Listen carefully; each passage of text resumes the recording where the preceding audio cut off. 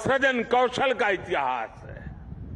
भारत का इतिहास, हमारे सामुद्रिक सामर्थ्य का इतिहास है। सैकड़ों वर्ष पहले, जब ऐसी टेक्नोलॉजी नहीं थी, जब ऐसे संसाधन नहीं थे, तब उस जमाने में समंदर को चीर कर हमने सिंधु दुर्ग जैसे कितने ही किले बनवाए। भारत का सामुद्रिक सामर्थ्य हज़ारों साल पुराना है। गुजरात के लोथल में मिला सिंधु घाटी सभ्यता का पोर्ट। आज हमारी बहुत बड़ी विरासत है। एक समय में सूरत के बंदरगाह पर 80 से ज़्यादा देशों के जहाज़ लंगर डालकर रहा करते थे। चोल साम्राज्य ने भारत के इसी सामर्थ्य के बलबूते दक्षिण पूर्व एशिया के कितने ही देशों तक अपना व्यापार फैलाया। और इसलिए जब विदेशी ताकतों ने भारत पर हमला किया तो सबसे पहले हमारी इस शक्ति को निशाना बनाया गया, जो भारत नाव और जहाज़ बनाने के मशहूर था।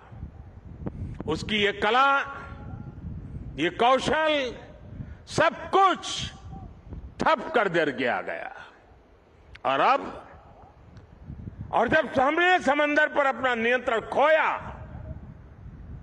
हमने अपनी सामरिक आर्थिक ताकत भी खो दी। इसलिए आज जब भारत विकसित होने के लक्ष्य पर चल रहा है तो हमें अपने इस खोए हुए गौरव को फिर से पाकर के ही रहना है। इसलिए ही आज हमारी सरकार भी इससे जुड़े हर क्षेत्र पर फोकस करते हुए काम कर रही है। आज भारत ब्लू इकोनॉमी को अभूतपूर्व प्रोत्साहन दे रहा है। आज भारत सागर माला के तहत पोर्ट लेड डेवलपमेंट में जुटा है। आज भारत मैरीटाइम विजन के तहत अपने सागरों के पूरे सामर्थ्य का इस्तेमाल करने की ओर तेज गति से बढ़ रहा है। मर्चेंट शिपिंग को बढ़ावा देने के लिए भी सरकार ने नए नियम बनाए हैं। सरकार के प्रयासों से बीते नौ वर्षों में भारत में सी फेरर्स की संख्या में 140 प्रतिशत से ज़्यादा बड़ी बढ़ोतरी हुई है। मेरे साथियों, ये भारत के इतिहास का वो कालखंड है, जो सिर्फ़ पाँच दस साल का नहीं, बल्कि आने वाली सदियों का भविष्य लिखने वाला है। दस वर्ष से भी कम के कालखंड में भारत दुनिया में दसवें नंबर की आर्थिक ताकत से बढ़कर पाँचवें नंबर पर पहुँच गया है। और अब बहुत तेज़ी से तीसरे नंबर की आर्थिक महाशक्ति बनने की तरफ़ आज भारत अग्रसर है। आज देश विश्वास और आत्मविश्वास से भरा हुआ है। आज दुनिया को भारत में विश्व मित्र का उदय होता दिख रहा है। आज स्पेस हो या फिर समंदर, हर जगह दुनिया को भारत का सामर्थ्य दिख रहा है। आज पूरी दुनिया, Bharat Middle East Europe economic corridor की चर्चा कर रही है। जिस स्पाइस रूट को अतीत में हमने खो दिया था, वो अब फिर से भारत की समृद्धि का सशक्त आधार बनने जा रहा है। आज मेड इन इंडिया की चर्चा पूरी दुनिया में हो रही है। तेजस विमान हो या किसान ड्रोन, यूपीआई सिस्टम हो या फिर चंद्रयान तीन, हर जगह, हर सेक्टर में मेड इन इंडिया की धूम है। आज हमारी सेनाओं की अधिकतर जरूरतें मेड इन इंडिया अस्त्र शस्त्र से ही पूरी की जा रही है। देश में पहली बार ट्रांसपोर्ट एयरक्राफ्ट का निर्माण शुरू हो रहा है। पिछले साल ही मैंने कोची में स्वदेशी एयरक्राफ्ट कैरियर आईएनएस विक्रांत को नौसेना में कमीशन किया था। INS Vikrant make in India आत्मनिर्भर भारत का एक सशक्त उदाहरण है। आज भारत दुनिया के कुछ गिने चुने देशों में है, जिसके पास ऐसा सामर्थ्य है। साथियों, बीते वर्षों में हमने पहले की सरकारों की एक और पुरानी सोच को बदला है। पहले की सरकारें हमारे सीमावर्ती और समुद्र किनारे बसे गाँवों को, इलाकों को अंतिम गाँव मानती थी। हमारे रक्षा मंत्री जी ने अभी उसका उल्लेख भी किया। इस सोच के कारण हमारे तटीय क्षेत्र भी विकास से वंचित रहे। यहाँ मूल सुविधाओं का अभाव रहा। आज समंदर किनारे बसे हर परिवार के जीवन को बेहतर बनाना केंद्र सरकार की प्राथमिकता है। यह हमारी सरकार है। जिसने 2019 में पहली बार फिशरीज सेक्टर के लिए अलग मंत्रालय बनाया। हमने फिशरीज सेक्टर में लगभग चालीस हज़ार करोड़ का निवेश किया है। इस वजह से 2014 के बाद से भारत में मछली उत्पादन 80 प्रतिशत से ज़्यादा बढ़ा है। भारत से मछली का एक्सपोर्ट भी 110 प्रतिशत से ज़्यादा बढ़ा है। अपने मछुआरों की मदद करने के लिए सरकार हर संभव कोशिश कर रही है। हमारी सरकार ने मछुआरों के लिए बीमा कवर दो लाख से बढ़ाकर पाँच लाख किया है।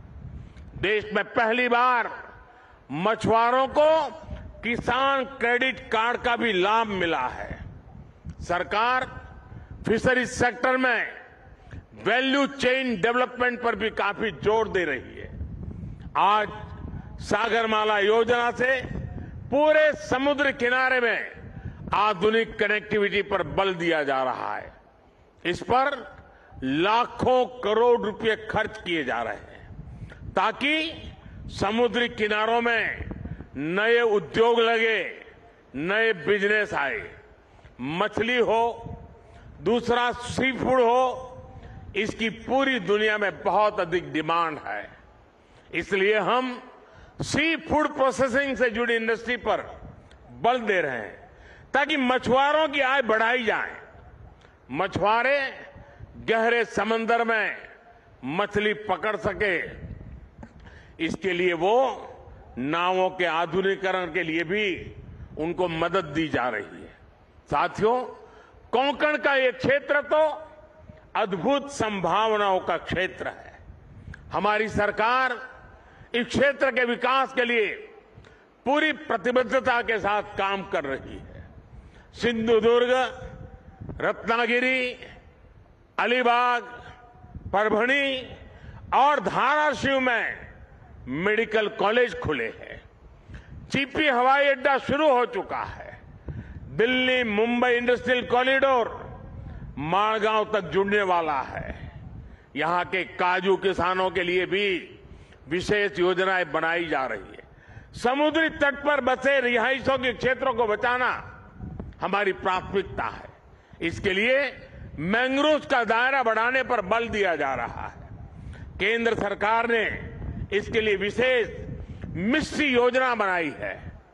इसमें मालवन, अचरा, रत्नागिरी देवगढ़ विजयदुर्ग सहित महाराष्ट्र की अनेक साइट्स को मैंग्रोव मैनेजमेंट के लिए चुना गया है। साथियों, विरासत भी और विकास भी यही विकसित भारत का हमारा रास्ता है। इसलिए आज यहाँ इस क्षेत्र में भी अपनी गौरवशाली विरासत के संरक्षण का प्रयास हो रहा है। छत्रपति वीर शिवाजी महाराज के कालखंड में जो दुर्ग जो किले बने हैं, उनको संरक्षित रखने के लिए केंद्र और राज्य सरकार संकल्पित है। कोंकण सहित पूरे महाराष्ट्र में इन धरोहरों के संरक्षण पर सैकड़ों करोड़ रुपए खर्च किए जा रहे हैं। हमारा प्रयास है कि पूरे देश से लोग अपनी इस गौरवशाली विरासत को देखने आए। इससे इस क्षेत्र में टूरिज़्म भी बढ़ेगा। रोज़गार, स्वरोजगार के नए अवसर भी बनेंगे। साथियों, यहाँ से हमें अब विकसित भारत की यात्रा और तेज करनी है। ऐसा विकसित भारत जिसमें हमारा देश सुरक्षित, समृद्ध और शक्तिशाली हो सके। और साथियों, आमतौर पर army day air force day, navy day, ये दिल्ली में मनाए जाते रहे हैं। और दिल्ली में जो आसपास के लोग हैं, वो उसका हिस्सा बनते थे। और ज़्यादातर इसके जो चीफ होते थे, उनके घर के लोन में ही ये कार्यक्रम होते थे।